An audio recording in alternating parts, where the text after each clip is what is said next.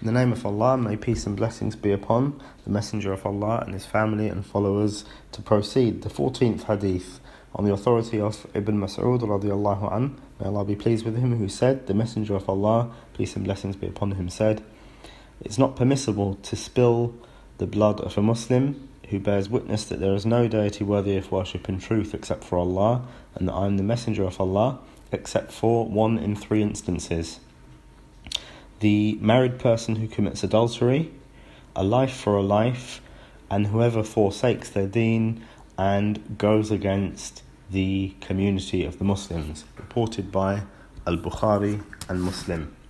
So, in this hadith, the, the Prophet, may peace and blessings be upon him, he explained that the blood of a Muslim is uh, is respected and it has sanctimony. It's it's sacred and this blood it's not halal or it isn't to be spilled except for one in three cases.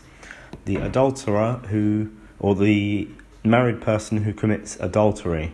And this is because this is they've done this after Allah subhanahu wa ta'ala has placed blessings upon them that they have married.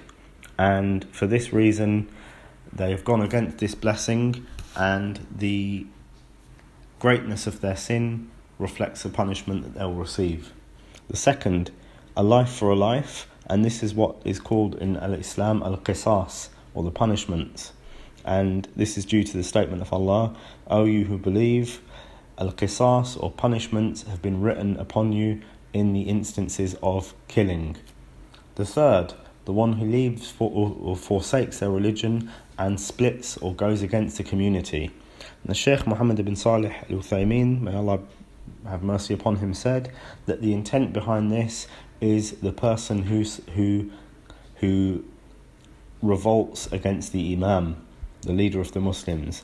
Um, it's, it's permissible to fight them uh, to the extent of killing them until they um, return and repent to Allah subhanahu wa ta'ala from this stance. And there are other things that make the blood of a Muslim permissible that are mentioned in other ahadith. But as we have said, we understand that ahadith um, as a collective um, and they fill gaps, etc. So, from the benefits of this hadith is that the underlying principle is the respect and dignity that a Muslim has, and that their blood is to be protected, and their blood is has some sanctimony. Um, and a second benefit of this hadith is that in these three instances, it is permissible um, for the imam um, to shed the blood of a Muslim. And that's an important point. It isn't just for anyone to go and do this. There are rulings that um, each of these things, the one um, who commits adultery, the one who takes a life, the one who leaves the religion and goes against the jama'ah, the congregation, there are rulings applicable to each of these, and those rulings are looked at in the books of jurisprudence, the books of fiqh, um, and this isn't the place to study those.